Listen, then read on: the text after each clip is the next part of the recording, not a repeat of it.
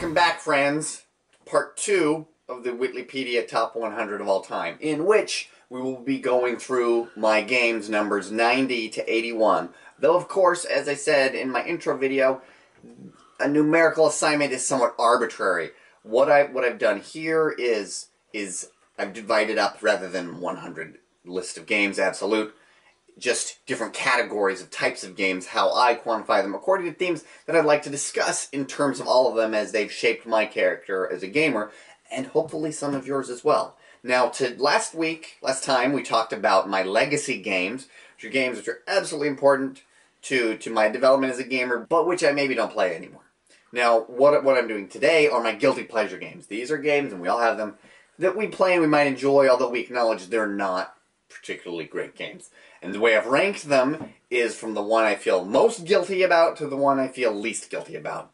And of course, starting off with number 90, there is no game that anyone can enjoy that you can feel more guilty about, except maybe Cards Against Humanity, than this one, which is Fluxx. Now, Fluxx is not a good game. It's not even a game, right? It's just an activity. Fluxx is terrific if you don't know how long it's going to be till your friends get there to get the game night because you don't care when the game ends. It's like, oh, we're playing Fluxx. What are my objectives? Blah blah blah. Oh, they're here. Okay, never mind. Now let's play something real, right?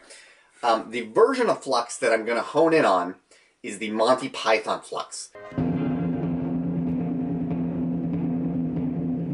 Because if the purpose of the game is not necessarily to be a complicated game with strategy and math and all that kind of good stuff, but rather just a fun activity, then this one does it it, it captures the spirit of your Monty Python movies and your Monty Python TV shows. A perfect way where you can be singing about spam one minute and killing the Black Knight the next minute. Again, not a terrific game, but I've absolutely enjoyed every time I have played my number 90 game, Monty Python Fluxx. Alright, next one, number 89 game that I feel slightly less guilty about than enjoying Monty Python Fluxx, is Kingdom Builder. Now, Kingdom Builder should have hit the board game universe like a proverbial ton of bricks as the follow-up to Donald X. Vaccarino's Dominion, the game-changing, world-changing Dominion, but it, it, it kind of just fizzled out. And there have been a lot of expansions to it, so people must be buying it. I remember playing it and enjoying it. I've got nothing wrong with the game. I think it's very simple. I do think it is a better gateway game than Settlers because there's less luck involved, and so you don't have that phenomenon of people being cheated by, oh, the dice didn't go my way. There's there's almost no opportunity at all for analysis paralysis. I remember I did a piece on this. Oh, one of my very first episodes for, for Board Game Breakfast, wherein I talked about. Oh, oh yeah, there I am. Yes, you see, there I am talking about Kingdom Builder in 2014. Oh, young Jared, all the things in 2015, all the mistakes you're going to make. I wish I could warn you, but alas, I cannot. Kingdom Builder. Love to play it. It's a, it's a great game. I don't get to play it as much as maybe I'd like. Maybe if I did play it a lot, I'd run out of interest in it, but I do think it is a good game. Kingdom Builder. Okay, my next game. When I was coming when I was coming up with this list, I knew I knew two games exactly what their numbers would be, even though again these numbers are kind of arbitrary. I knew absolutely without question what my number one would be. I look forward to seeing if any of you can guess what you think it might be.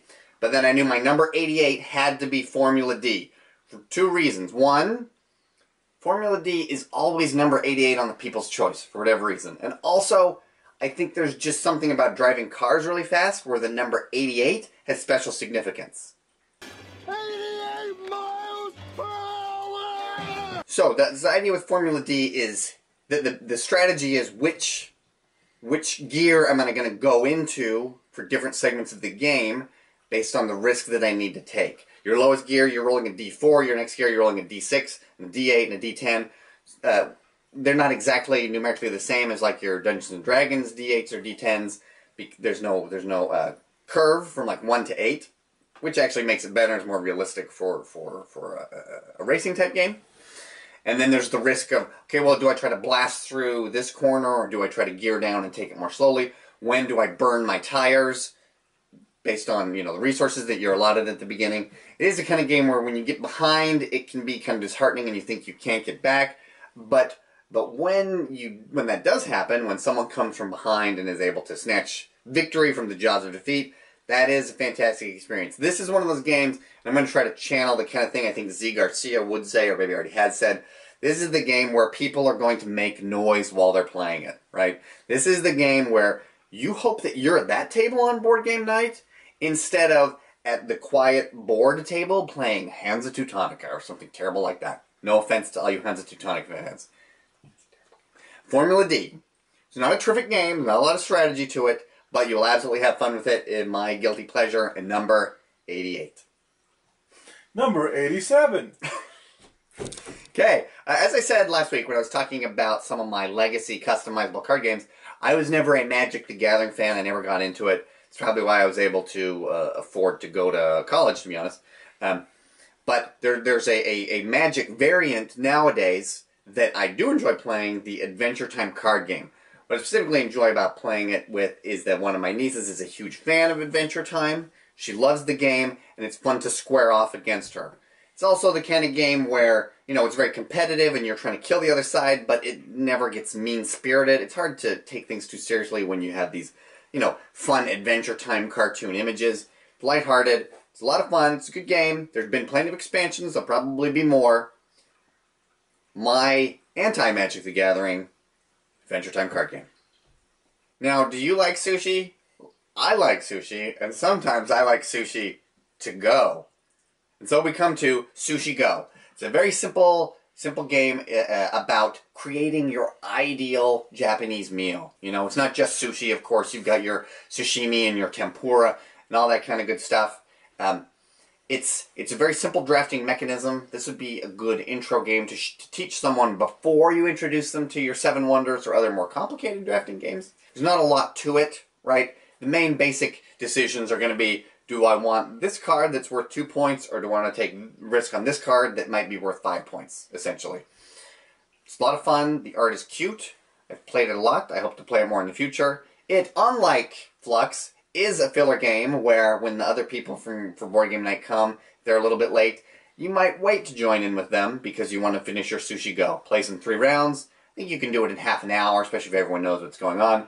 And a delightful game to play if you have any kind of you know, Japanese themed night with some actual sushi out, which you which you can enjoy while take you can enjoy this sushi at home while taking this game to go. Number 86, Sushi Go. Okay, number 85 is a grim kind of horror themed game, very lighthearted, in in your same vein as, as your Addams family type of thing, if you enjoy that. It is called Bring Out Your Dead. This is a copy that I got at Origins last year. Unfortunately, I was not able to get a signed copy from the uh, from the creator, although I was able to play with him there, which was great. He's from Utah, just like me, so it's small world. So Bring Out Your Dead is a, as it, it advertises, a morbid game of family fun. You, for meeples, look what we have. We have actual little coffins instead of people. See, and then we bury them here, right, on the plots. Maybe you've seen this game before, for different points. Uh, there's there's the different cards you can use for bonus effects. You know, we, we have these, these different options for trying to bury your cards or these different treasures you can get. And it kind of is, is said without being said, but you get these treasures by looting the corpses of your of your ancestors, which is, is morbid and delightful and again very Addams family. The thing I like is it incorporates elements of area control, worker placement, and deck building in a simple way that you can it's like a sampler platter, so it's a great way to introduce these ideas to your friends of or you, friends of yours who, who may need see this as a gateway game, and it's a good way to say, okay, here's here's these concepts, and then try more advanced games. Bit of a guilty pleasure because again, for us as more hardcore gamers, it's it's not it's not the most intense game at all, but it is still a lot of fun. It's fun to look at, and it's easy it's easy to teach and get people involved in. So bring out your dead. So something that always fascinates me are games that carve off a sliver of the dungeon crawler experience and, th- and then make that the game, right? Um, so, for example, last time we talked about Three Dragon Ante. The idea is that's a card game that you can play in in your role playing fantasy role playing universe, uh, uh, either as part of the role playing experience or on its own. Now, this game, it, which again is not a terrific game, there's not a lot of strategy to it, but it is terrifically fun. It takes the idea of what happens after the adventure when the heroes get back to the tavern, and not just any tavern, but the Red Dragon Inn. So everyone has a different deck of cards. You pick a character, and all those cards come with it. You may be the halfling rogue, or you may be the, the half orc barbarian, or you may be the paladin, or the cleric, or the or the wizard who's got a familiar named Pookie who can pull off all kinds of tricks. And then you play these cards on each other to try to either beat someone up, take all their money, or get them so drunk they pass out. There's loads of expansions for this game. I haven't played all of them because there's so many. I kind of lost track about it. Red Dragon Inn is is always fun. It's uh it's very much a take that game, but it never I've never seen it get too personal or, or cause anyone to explode in rage or flip the table or whatever cliche you want to use.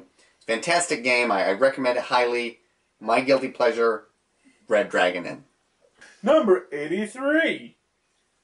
Okay, so my my number 83 game, my, uh, next one on my guilty pleasures list is Game of Thrones Westeros Intrigue.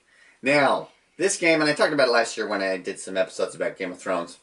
The idea is it's it's it's like a math problem where you're building up this stack, and, and people have these different factions from within the Game of Thrones universe. Where oh, you're the Starks, or you're the Lannisters, or you're the Targaryens, or the or the Baratheons. You're trying to get to the top, right? There's it. This is not a deep strategy game at all. This is the kind of game where I, I think Reiner Knizia came up with this when he was on a long bus trip, right? I think it probably took him 25 minutes to, to come up with this game, and then they just put pasted the Game of Thrones theme on it, and he cashed a check. Uh, I, I wouldn't put it as necessarily the best game in the universe to play, but it is the absolute best game for teaching someone about the Game of Thrones universe, right? Because you got the pictures there with the names on them and the faces, and so you can say, oh yes, this is the difference between these three different warriors who have pretty much similar stories and look very much alike and have names you can't really keep track of. To sort of help people, uh, in, indoctrinate them, introduce them to the, that fantasy universe. And it is still a fun game. And it's a great way, it's a great way to start off an evening with that lighter game. So, my number 83, Game of Thrones, Westeros Intrigue. Number 82. Okay, so the next one on my list, my, my number 82, and my guilty pleasure game I am second least guilty about this one really surprised me when it won the Spiel des Jahres because it doesn't seem at all like the kind of game that does that. And it is, probably you know already, Colt Express. Here, the idea is we have, and I, and I don't have it right now here with me, unfortunately. Um, there is a very good implementation of it on Board Game Arena, which I recommend you check out if you haven't had a chance to. The idea is we're all involved in this train robbery, and the train goes from different stops, and we have this occasion to pick up loot, to try to steal from the marshal, to, to get jewels or cash from, from people who are there on the train. And whoever gets the most money when the train finally reaches its end destination is the winner. Uh, the the gameplay comes from trying from remembering what cards your opponents have played and trying to adjust your strategy accordingly. It's, it's the, the, the, the hallmark of the game is of course that they have this this wonderful set that you build up of the little train and you got the little peoples on it. It it's not the not the most deeply strategic game in the world, but it, it is a tremendous amount of fun. And it's also one of those. It's it's what I call a potato chip game where you play it once and you have to play it again. Right? Once is never enough with Colt Express. My number eighty-two. So my guilty pleasure game that I feel the least guilty about putting on this list. It's also my number eighty-one. This may surprise some of you if this is so low. You may think it should be higher. I know there was uh, it is ranked very highly every year on the Dice Tower People's Choice. But I do feel a little guilty about this game, and it is namely King of Tokyo. Now, you guys all played this. It's a very fun game. King of Tokyo, we are monsters fighting for domination of Tokyo, and with five or six players, Tokyo Bay, using a dice rolling mechanism. It's it's one of those games that I think may have replaced 10,000, which I mentioned in my first video, in terms of a game that's that's uh, a little more still has that push your luck dynamic, but it's a little more advanced and there's more going on. It is very luck based. If the right if the right uh, power up card comes out and your neighbor gets it instead of you, that might mean that they're going to win and, and you're and you're doomed. And because there's the dice rolling, there's so much luck, things may just never go your way. But it is still a fantastic game, very popular. I do like it better than King of New York. The thing I like about King of Tokyo better than King of New York is there are fewer resources to extend the game too long. Right? I'm a big fan of a game filling its appropriate length. Right? You don't want to have 20 minutes worth of fun packed into an hour of game. And this one in my experience, always ends when it should. Sometimes it's King of New York. We, we played it once in this very room here, where there were six people playing. It was going to be awesome. Three people died very early on, and three the other three got so many power ups. They were just going on indefinitely that we eventually just called the game, right? And I've never experienced that with this. So, my least guilty guilty pleasure game, my number eighty-one, King of Tokyo. So there we go. That those are my guilty pleasure games. Thanks for coming with on the journey. I hope you don't feel guilty about spending the last 10 minutes on this video on YouTube. Please be sure to put any comments, things, feedback you may have, and if you feel compelled to share this or click the like button, well, of course I'm not going to complain about that. And be sure to tune in next time when our theme will be Hidden Gems games. And this will be my numbers 80 down to 71. Hidden Gems. These are games that have never appeared on the Dice Tower People's Choice any year that it's been going. What will they be? I can't wait to find out. Next time.